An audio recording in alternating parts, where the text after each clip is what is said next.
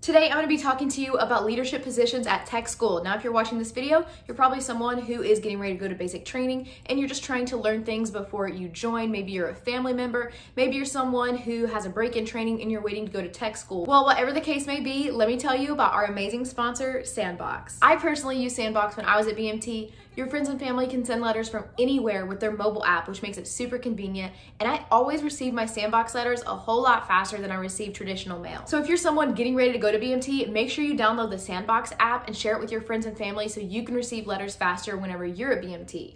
Now, if you're somebody watching this who is not at BMT, if you're already past that point, or if you're a family member, Sandboxx has so many resources for you as well. So be sure to check them out at sandboxx.us. Starting out with the leadership positions, we are gonna talk about the ropes. Now, the reason they're called ropes is because they wear a colored rope on their left shoulder whenever they are in uniform and the color of that rope signifies the position that they have. Let's talk about stoplight ropes. The reason they are called stoplight ropes is because everyone starts out as a green rope, but as you kind of promote, then you go yellow and then red. Not everybody gets to become yellow and then red. It just depends on how many positions are available and when you are going to be graduating from tech school. Stoplight ropes are the student leaders while you're at tech school. So comparing to BMT, it is like the dorm chief and element leaders. They are trainees just like you, they just have more authority and responsibility.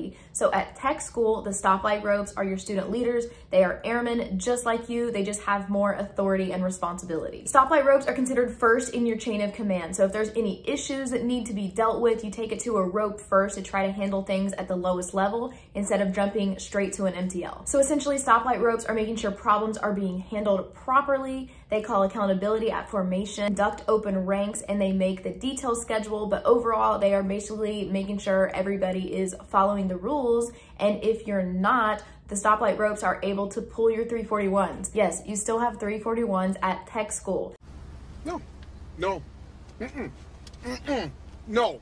No. So if you are late to formation, a stoplight rope will have to go up to you and pull a 341 and then they have to write the reason on it that you're getting it pulled and then they turn it into an MTL and then the MTL will call you in later to talk about it. So that is something that still happens. So you need to make sure that you are following the rules at all times. The next rope is the teal rope, and this is your sexual assault awareness rope. There's typically one male and one female. That way there's always someone that people feel comfortable going to. So if you have anything from the past that you wanna talk about, or if there's anything currently happening or you know of a major situation, the teal rope is the person that you would go to. But if there is a situation that you don't feel comfortable talking to them about, they are your SARC liaison, so they will get you in contact with a sexual assault response coordinator. That way they can help you handle the situation properly. So teal ropes are responsible for handling sexual assault prevention and response issues. So anything like that, you would go to them. And they also are mandated reporters. So if there's any major issues going on that they need to tell somebody, they are required to do so so it can be handled accordingly. And next you have white ropes, which are your chapel guides. There is one male and one female, and their job is to give you information about your religious services. So when you come to tech school and you wanna find a religious service that fits your needs, you can always go to your white ropes and ask them if they have any recommendations of services that they have heard of, and they can help you find that information. Next are black ropes, and they are our student drill team. There's no male female requirement for this one, and their responsibilities are the guidon bearer, to sing jodies as we march to school, and they also make the road guard schedule. So we talked about all the ropes, but there are still other leadership positions that need to be mentioned because even though they don't wear a rope on their shoulder, they are still so very important. So these type of positions may differ from each tech school committee, which is a president, vice president, secretary, and treasurer,